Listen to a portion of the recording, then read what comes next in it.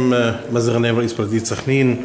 يعني بعدي قرار طبعا الحزب القومي العربي طبعا برئاسة أخونا محمد حسن كنعان أبو حسن الانسحاب من التنافس على أصوات الجماهير العربية لكنيسة شو موقف لجنة المتابعة والقطرية في هذا الصدد؟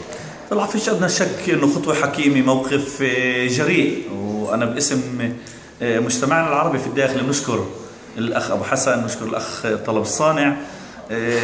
بس أنا يعني بدي أوجه نداء لأخونا أبو حسن من كل له كل الاحترام لأنه سمعت الصبح كان مقابلة معاه عبر المذياع وقال إنه إحنا بنعطي حرية التصويت. فأنا بدي أقول له إنه إحنا جزء لا يتجزأ من المجتمع العربي القائمة المشتركة هي اللي بتمثلنا كلياتنا. وأنا بدي أقول له شغلة حتى لو في إنسان أو حزب معين ظلم في هاي المرحلة فإن شاء الله رح ننصفه في المستقبل. فعلشان هيك طلبي من الأخ أبو حسن هذا الإنسان اللي عنده انتماء وولاء لمجتمعه إنه يعلنها بشكل واضح وصريح تأييده مع كل الإخوة تأييده للقائمة المشتركة.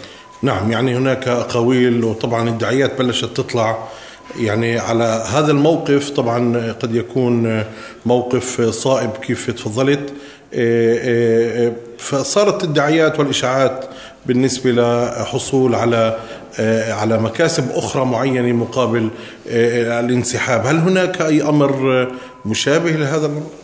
طلع لا سمح الله يعني أنا بقدر اكد باسم الكل إنه ما كانش حكي من الزي ومش راح يكون حكي لا اليوم ولا في المستقبل لأنه كل إنسان طبيعي حقه الشرعي والطبيعي إنه يمارس حقه الديمقراطي بالشكل اللي هو بيشوفه مناسب ولكن إحنا بنحكي من منطلق الأمل والعشاء ومن منطلق التحديات الكبيرة اللي بتواجه مجتمعنا العربي في الداخل خاصه في ظل البطالة العنف الفقر قصة الأرض والمسكن كلها هي بتحطنا أمام تحديات كبيرة إنه نكون موحدين أكثر من أي وقت.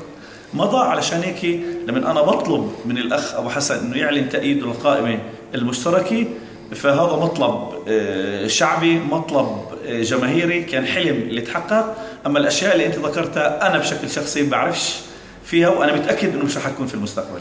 شكرا جزيلا